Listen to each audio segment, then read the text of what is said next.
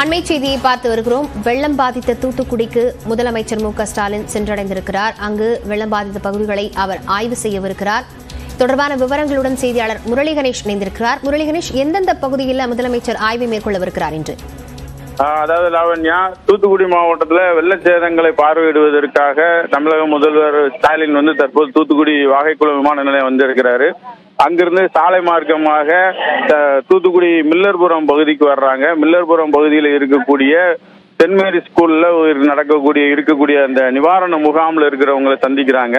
அந்த சென்ட் மேரி ஸ்கூல் சுற்றுவட்டார பகுதியில் அதாவது மில்லர்புரம் கணேஷ் நகர் அந்த ராஜீவ் நகர் உள்ளிட்ட பகுதிகளில் வெள்ளத்தால் பாதிக்கப்பட்ட மக்கள் கிட்டத்தட்ட ஒரு ஆயிரத்திற்கும் மேற்பட்ட மக்கள் வந்து அங்க வந்து தங்க வச்சிருக்காங்க. அவங்களுக்கு வந்து அங்க தேவையான உணவு உள்ளிட்டவைகள் வழங்கப்பட்டு வருகிறது. அந்த முகாம்ல மக்களை வந்து சந்திக்கிறாங்க. அந்த அந்த முகாம்ல சந்திச்சு முடிச்சதுக்கு பிறகு தூத்துக்குடி நகர் முக்கிய சாலையான தமிழ்வழி சாலை வழியாக தூத்துக்குடி குறிஞ்சி நகருக்கு வராங்க. குறிஞ்சி நகர் பகுதியில் கிட்டத்தட்ட குறிஞ்சி நகர் போல்பேட்டையில் இருக்கக்கூடிய ஆறு தெருக்கள் அனைத்திலையும் வந்து மழைநீரானது முற்றிலுமாக தேங்கி இரண்டடி உயரத்திற்கு அந்த பகுதியில் இன்னும் வடியாத நிலை என்பது இருக்கிறது. அந்த பகுதியை வந்து பார்வையிடுவதற்காக வர்றாங்க.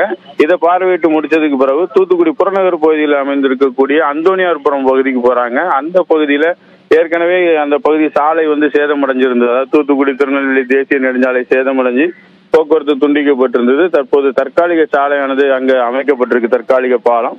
அந்த பகுதியையும் பார்வையிட்டு தொடர்ந்து நெல்லை மாவட்டத்திற்கு செல்கிறார் லாவண்யா. எத்தனை மணி வரை தூத்துக்குடியில் மட்டும் ஆய்வு செய்விருக்கிறார் அதிகாரிகளுடனான எதுவும் ஆலோசனை நடத்தப்படவிருக்கிறதா? ஆய்வுக்கு பிறகு. தூத்துக்குடியில் வந்து க- கிட்டத்தட்ட ஒரு சுமார் ஒரு இரண்டு மணி நேரம் வரை தூத்துக்குடியில வெள்ள சேதங்களை வந்து முதல்வர் ஆய்வு செய்வதற்காக வாய்ப்பு இருக்கிறது. அதே நேரத்தில் அரசு தரப்புல தெரிவிக்கப்பட்டிருக்கிற குறிப்புல நேரடியாக இடங்களுக்கு சென்று பார்வையிடுவதாக குறிச்சிருக்காங்க குறிப்பிட்டிருக்காங்க. அதிக ஆலோசனைகள் எதுவும் நடத்துறதாக குறிப்பிடல. அதே நேரத்தில் அவர் வரக்கூடிய இடங்கள்ல ஏராளமான மக்கள் வந்து அவரை சந்திச்சு தங்களுடைய குறைகளை தெரிவிக்கணும் அப்படிங்கிற வகையிலையும் கூடியிருக்காங்க குறிப்பா அவர் வரக்கூடிய அண்ணா நகர் பகுதியிலேயே ஏராளமான மக்கள் தங்களுக்கு நிவாரண உதவிகள் எல்லாம் கிடைக்கல அப்படிங்கறத வந்து முதல்வர்கிட்ட தெரிவிக்கணும் அப்படிங்கிற அடிப்படையில் ஐநூறுக்கும் மேற்பட்ட மக்கள் அந்த பகுதியில் வந்து கூடியிருக்கிறாங்க லாவண்யா. முரளி கணேஷ் தூத்துக்குடியை பொறுத்தவரையில் நியமன அமைச்சர்கள் யார் யாரெல்லாம் மீட்பு பணியில் இருக்கிறாங்க? ஐஏஎஸ் அதிகாரிகள் யார் யாரெல்லாம் இருக்காங்க? தூத்துக்குடியில பொறுத்தளவுல மாவட்டத்தினுடைய அமைச்சர் கீதா ஜீவன் அமைச்சர் அனிதா ராதாகிருஷ்ணன் கனிமொழி எம்பி அமைச்சர் கே என் நேரு உள்ளிட்டவங்க இங்க மீட்பு பணியில ஈடுபட்டுக்கிட்டு இருக்காங்க. இவங்களோட மாவட்ட ஆட்சியர் லட்சுமிபதி உள்ளிட்ட அதிகாரிகள் வந்து மக்களை மீட்பு பணியில ஈடுபடுறதுல தொடர்ந்து நடவடிக்கை எடுத்து வராங்க. இந்த இவங்க எல்லாருமே மக்கள் அதிகமா பாதிக்கப்பட்டிருக்கக்கூடிய இந்த போல்பேட்டை மில்லர்புரம் இந்த மாதிரியான பகுதிகளுக்கு சென்று அங்க மக்களுக்கு மீட்டு அவங்கள முகாம்களில் தங்க வைக்கக்கூடிய நடவடிக்கைகளை மேற்கொண்டாங்க. தற்போது அந்த முகாம்கள் இருக்கிறவங்களுக்கு தேவையான உணவு உள்ளிட்ட அடிப்படை தேவைகள் அனைத்தையும் பூர்த்தி செய்யக்கூடிய நடவடிக்கையில ஈடுபட்டுக்கிட்டு இருக்காங்க லாவண்யா. முரளி கணேஷ் தற்போது முதலமைச்சருடன் யார் யாரெல்லாம் ஆய்வுக்கு சென்றிருக்கிறார்கள் எந்தெந்த அதிகாரிகள் சென்றிருக்கிறாங்க மழை வெள்ள பாதிப்பு குறித்த சேத விவரங்களை எதுவும் கையில வச்சிருக்காங்களா முதலமைச்சர்கிட்ட எடுத்து சொல்றதுக்கு.